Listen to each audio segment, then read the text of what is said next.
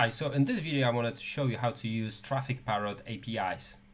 So the first thing we're gonna need is Traffic Parrot, so I'm gonna go ahead to the Traffic Parrot directory and start it up. And um, there we go, Traffic Parrot is running. So let's have a look at it. There it is, that's the web user interface. And what we are gonna also need is a Postman. So we're gonna use Postman to um, send requests to Traffic Parrot APIs. So what we can do is import Postman collections that we provide for you guys and they're available at trafficparrot.com slash documentation slash the version of the traffic version of traffic parrot using downloads postman.json so I'm copy I'm gonna just copy that URL and import it to postman There we go. So we got HTTP APIs, JMS APIs, and gRPC APIs. Let's have a look at a sample HTTP API. Uh, we can, for example, get all mappings. Well, there are no, no mappings at the moment, so we can, for example, add a mapping.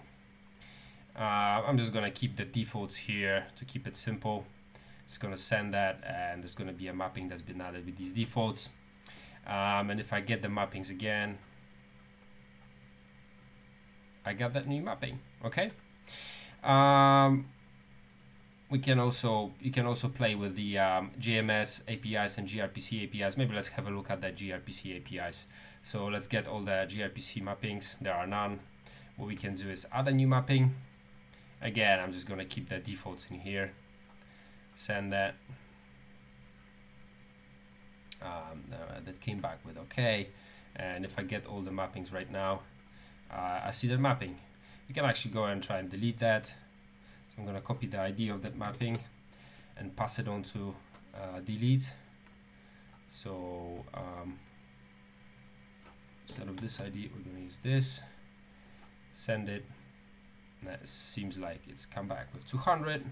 So if I get all the mappings again, it comes back with nothing okay so yeah if you wanted to explore how traffic parrot apis work just use these postman collections and one thing I wanted to point out, which is quite important, is that uh, these APIs were not designed to be used externally by third parties, and they are our internal APIs. So uh, the reason I'm mentioning this is because sometimes they might be a bit unintuitive or difficult to use.